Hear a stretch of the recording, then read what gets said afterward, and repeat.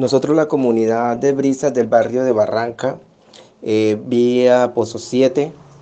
hacemos un llamado a la administración municipal en cabeza del señor alcalde Alfonso Haas Manrique para que preste atención a esta emergencia y gravedad por motivo de un árbol de agarrobo el cual este, amenaza nuestro sector, nuestra vivienda, nuestra comunidad en general,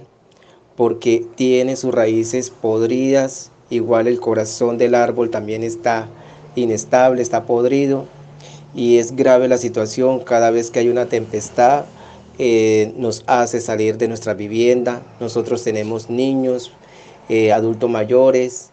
le pedimos al alcalde enormemente que mandes a los entes de control, a las entidades responsables para que nos den pronta solución técnica